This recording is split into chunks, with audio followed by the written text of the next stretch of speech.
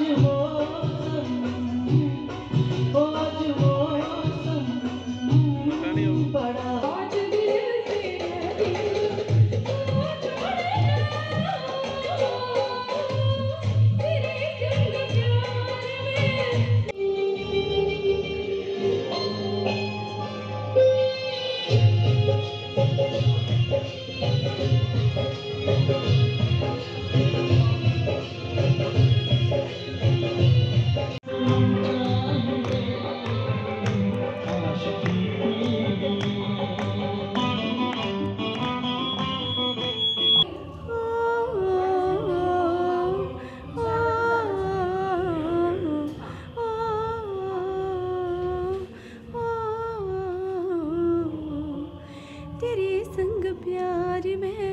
नहीं तोड़ना।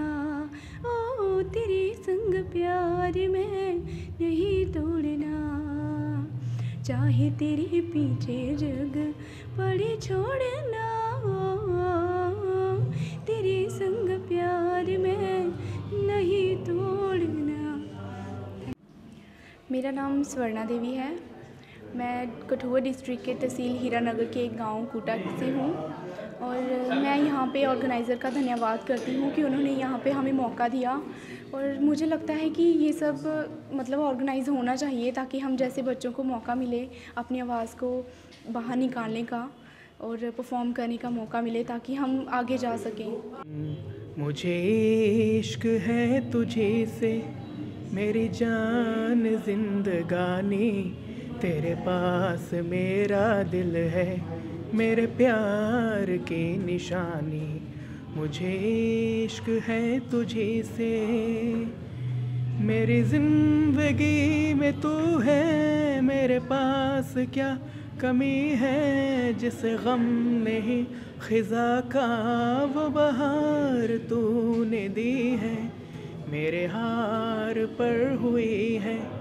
तेरी ख़ास मेहरबानी, तेरे पास मेरा दिल है, मेरे प्यार की निशानी।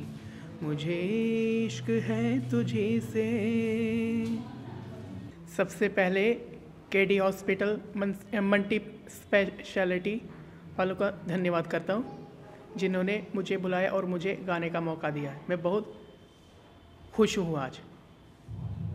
क्या कहना चाहेंगे? ऐसे इवेंट्स होना चाहिए आप लोगों को मौका मिलना चाहिए। सबसे पहले ये कहना चाहता हूँ कि गाने से पहले उसको अच्छी तरह से सुनिए और जब आपने अच्छी तरह से सुन लिया तब उसको गाओ। ऐसे नहीं कि सिर्फ़ सुन लिया तो याद नहीं रहा। थोड़ा सा गुनगुनाएँगे? जी अभी मैं आपको एक गाना सुनाना चाहता हूँ। रफ़ी साहब का। सांसों की ज़रूरत है जैसे, सांसों की ज़रूरत है जैसे, ज़िंदगी के लिए बस एक सनम चाहिए, आशिकी के लिए बस एक सनम चाहिए, आशिकी के लिए।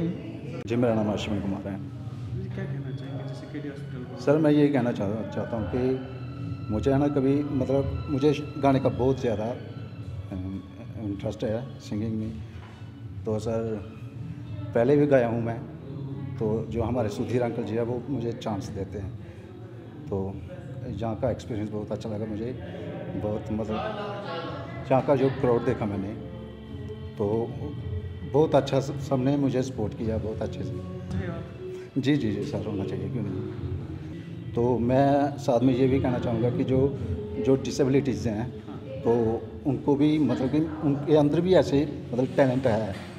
तो वो, मैं यही रिक्वेस्ट करूँगा कि उनको आगे आने का मौका दें।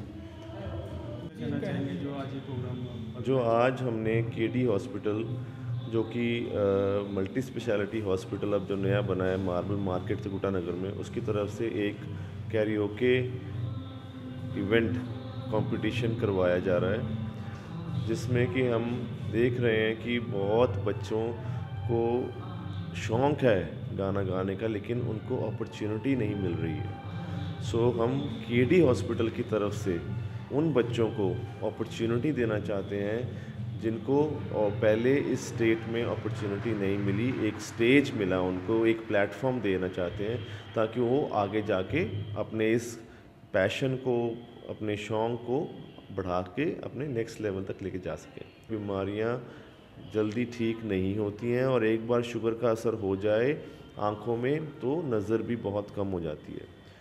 सो so, एक अवेयरनेस प्लेटफॉर्म भी है ये कि आप लोग जो मेरी वीडियो देख रहे हो, मैं चाहता हूँ कि आप हर तीन से छः महीने में